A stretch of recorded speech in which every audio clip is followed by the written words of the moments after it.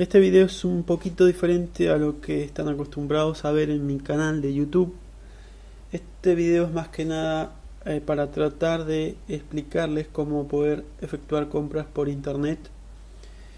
Y quería exponer un ejemplo práctico de, de todo esto, que es una compra que hice hace poco, que todavía no la fui a retirar al correo, pero esto puede servir para, para ejemplificarles cómo, cómo es todo este trámite de las compras por internet, sobre todo acá en Argentina que, que es bastante complicado todo el tema de, de las regulaciones que impuso la FIP a partir del mes de marzo.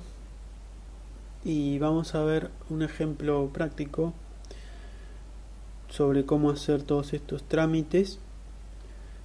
Y bueno más que nada eh, es para, para aclararle a un par de personas que, que están interesadas en comprar por internet, pero que les resulta medio complicado hacer esto.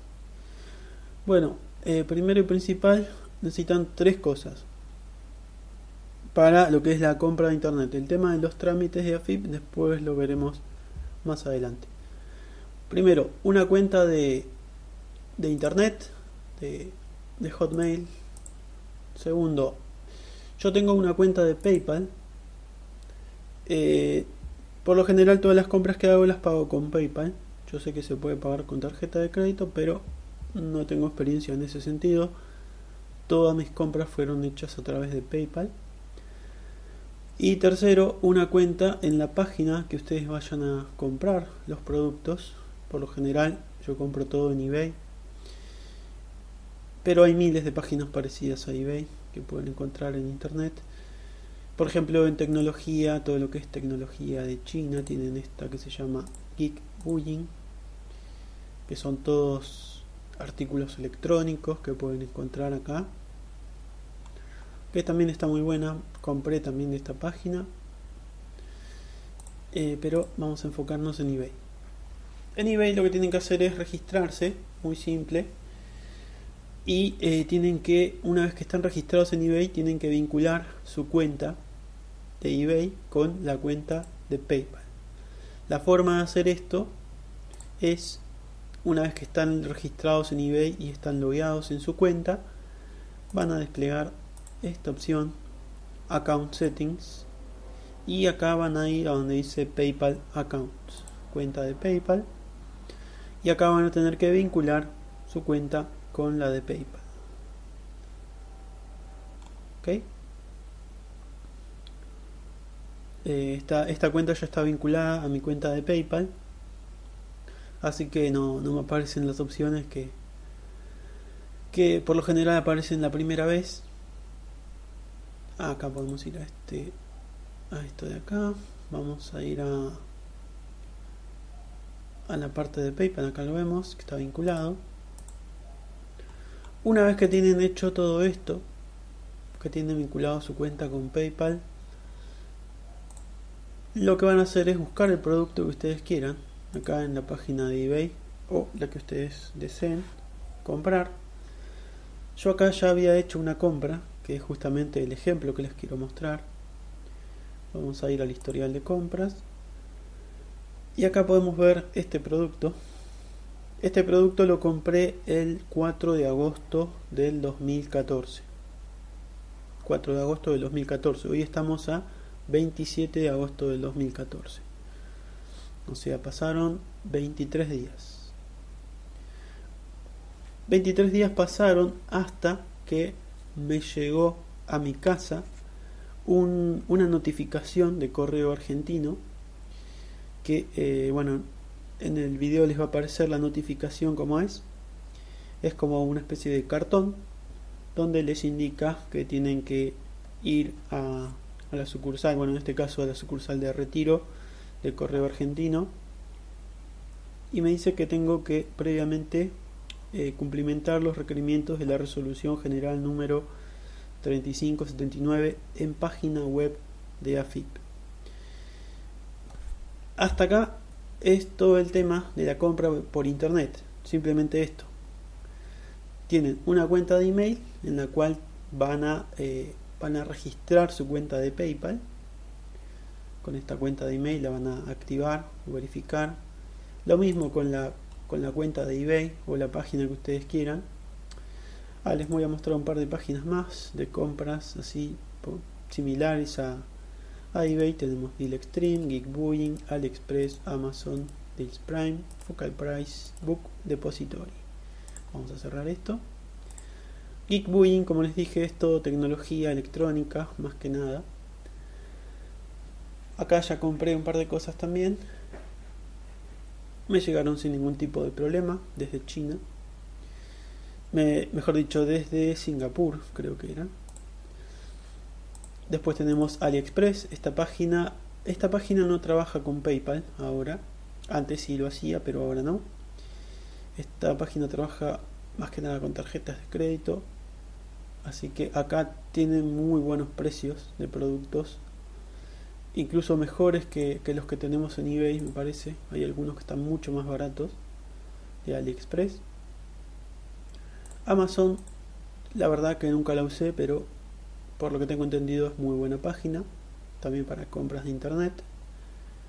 El tema del envío me parece que es algo diferente a lo que es eBay y AliExpress.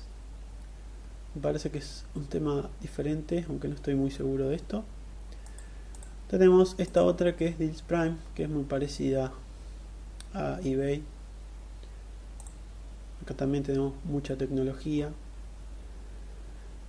Tenemos eh, este Focal Price también, similar al anterior. Y por último, Book Depository, que esto, como su nombre lo indica, es, es como, como una biblioteca de libros, en los cuales podemos buscar algún libro que nos interese. Y esto tiene que ver con el tema de la resolución de AFIP, de la limitación a las importaciones de dos compras por año. Los libros, ustedes pueden comprar la cantidad de libros que quieran y no van a tener ningún tipo de problema en retirarlo de la aduana. Hay algunas personas que dicen que les llega a la casa directamente las, las compras de libros, otras dicen que tienen que ir a retirarlos a la aduana, pero en ambos casos no van a tener ninguna restricción en la compra de libros.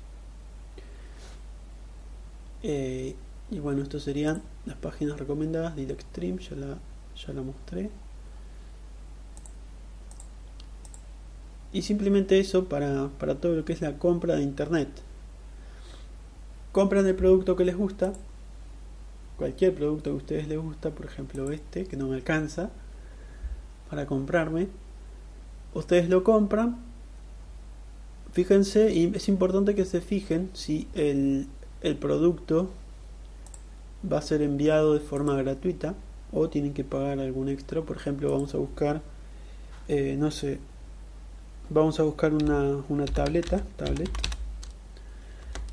de 7 pulgadas. Vamos a poner esto como galería. Acá, fíjense que esto esté como comprar ahora esto de acá sería como si fuera una subasta. Como las subastas de Mercado Libre, bueno, a mí me interesa comprarlo ahora. Vamos a indicarle que nuestro producto sea nuevo, no sea usado. Y vamos a filtrar también que el envío, las opciones de envío sea envío gratis. ¿Ok? Y acá vemos todos los productos que cumplen con estos, con estos filtros que le indicamos. Acá también pueden indicarle la marca, el color y un par de opciones más, pero no me interesan. Acá también pueden ordenar los resultados por, eh, por precio, por el de, de menor a, a mayor o de mayor a menor, como ustedes quieran. Vamos a ponerle desde el precio menor más el envío Acá vemos que este cuesta 37.97, compra inmediata sería With Now. El envío gratis es una tablet de 7 pulgadas, Android 4.0. Digamos que me gusta esta tablet, ¿ok? Entonces la quiero comprar. Entro en, el producto. Acá podemos ver un zoom del producto. y lo que tiene que hacer es comprar el producto with now una vez que lo compran, les va a aparecer otra ventana eh, con, digamos, una ventana de confirmación de la cuenta de PayPal, si ustedes quieren realmente pagar el producto con la cuenta de PayPal o la tarjeta de crédito que ustedes tengan. Y una vez que hicieron eso, a partir de ese momento el, el proveedor de China o de donde sea, en este caso si es de China, de Hong Kong, les va a enviar un número de seguimiento, no en todos los casos, tienen que consultarlo con el proveedor de, de China, si, si, si, les va, si les envía el número de seguimiento, es importante que, que, que tenga el número de seguimiento, puesto que si no, eh, no digo que se vaya a perder, pero tiene más posibilidades de que se pierda si no tiene el número de tracking. Para saber si, si, el, si el proveedor de China envía número de tracking con este producto, pueden preguntarle, eh, vamos a ir por abajo, acá donde dice ask, hacer una pregunta, ask a question, y acá van a encontrar detalles sobre el envío, sobre, sobre el producto, diferentes tipos de, de preguntas que ya tiene preparadas respuestas el, el proveedor chino. Vamos a fijarnos acá en shipping, a ver si hay algo sobre el tracking. Acá, por ejemplo, cuánto tiempo tomará obtener mi, mi producto. Eh, vamos a ver. No, no dice nada sobre, sobre si envía el número de track. O sea que acá vamos a ponerle, no, yo quiero contactar al vendedor. Y acá vamos a preguntarle, por ejemplo, eh, si este producto viene con número de tracking.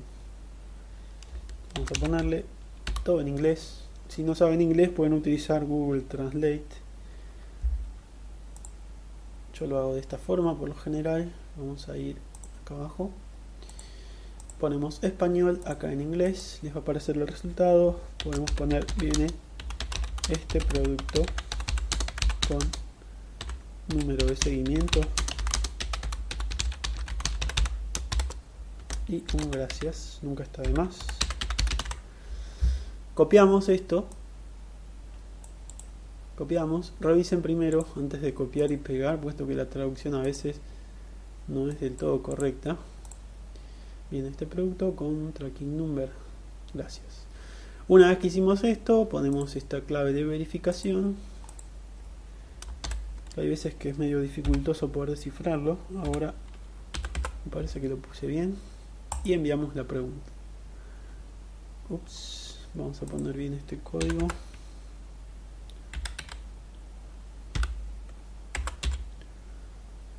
Enviamos. Ahí está. Una vez que lo reciba este mensaje, el proveedor me va a responder y esto me va a aparecer por acá en mensajes. Voy a tener un nuevo mensaje. El proveedor me dirá si, si envía número de tracking o no. Como les dije antes, lo, más recomendable es que el producto que ustedes vayan a comprar se lo manden con número de seguimiento. El número de seguimiento es un número que ustedes tienen que entrar en una página, por ejemplo, 17 track, que es el último, la última compra que, que efectué. Me mandaron un número de seguimiento que podía entrar en esta página, meter el número de seguimiento acá Vamos a probar, a ver, yo tengo el número de seguimiento por acá. Vamos a ponerle este.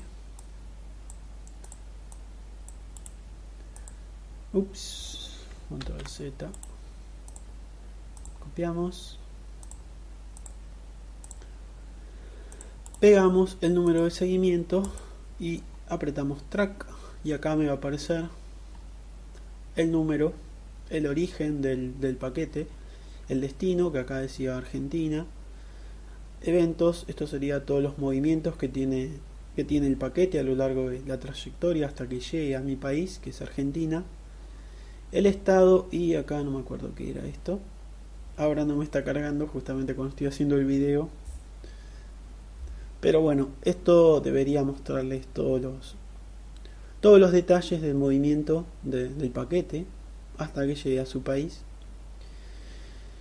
Eh, una vez que, que, llega al país, me parece que también lo podemos hacer esto de la página del correo argentino. Vamos a entrar en correo argentino.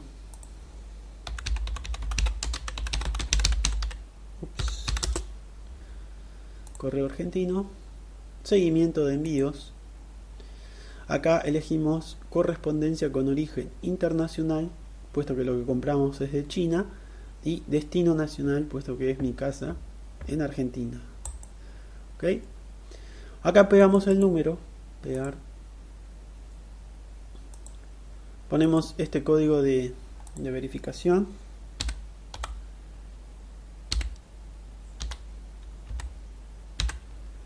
Y elegimos consultar.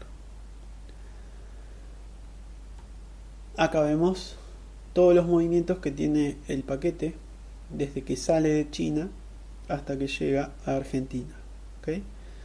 Vemos que yo este producto lo había comprado. A ver, vamos a volver al producto que compré.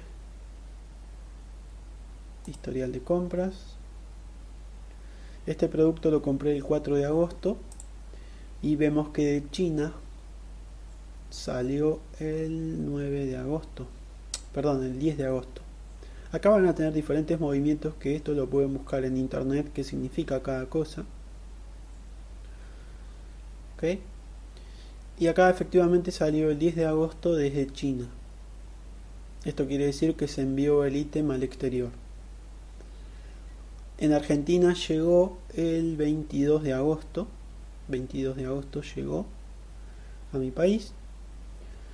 Y eh, ayer, el 26 de agosto, cambió todo esto, puesto que acá no me está mostrando los movimientos locales. Acá les tiene que decir ver movimientos locales del paquete o algo similar. Acá no me está mostrando justamente hoy que lo necesito para hacer este video. No está funcionando. Bueno, les comento.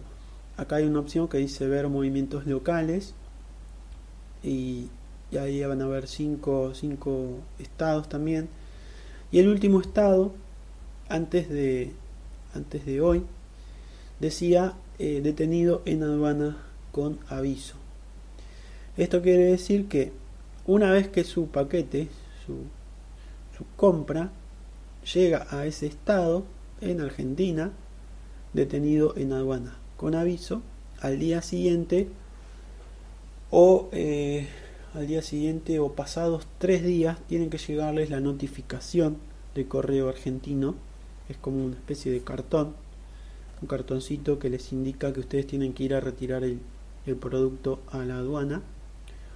O también eh, puede ser que les llegue el cartón, pero que no lo tengan que buscar en aduana, sino que lo tengan que buscar en el correo más cercano a su domicilio, en la sucursal de correo argentino más cercana a su domicilio.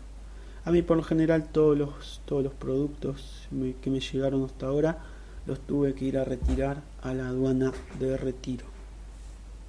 Pero bueno, el procedimiento es el mismo. Y esto sería todo hasta este momento. Todo lo que sería la compra en sí del producto. Eh, en otro video les voy a mostrar cómo llenar todos los trámites de AFIP cómo, hacer toda la tramitería de AFIP para llevar todos los papeles correctos a la aduana de retiro en mi caso y poder retirar su paquete exitosamente y no tener que ir hasta allá comerse no sé dos horas de, de demora y que no puedan retirar su, su compra puesto que no llevan todo lo, lo requerido para, para poder efectuar el, el traslado del paquete. ¿ok?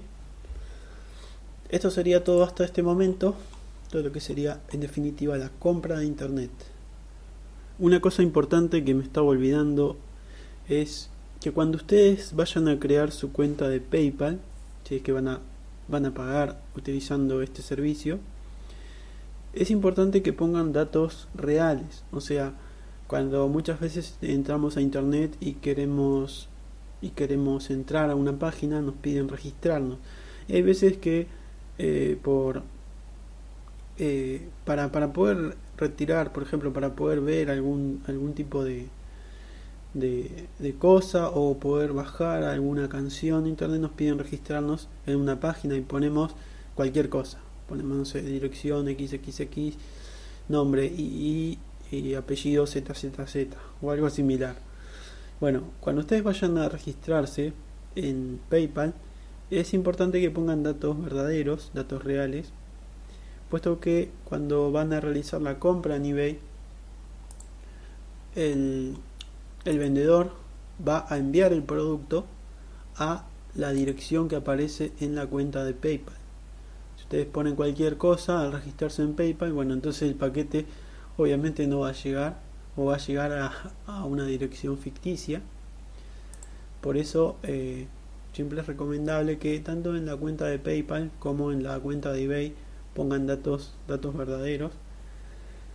Eh, para no llevarse ningún tipo de sorpresa al, al revisar que su paquete no llega.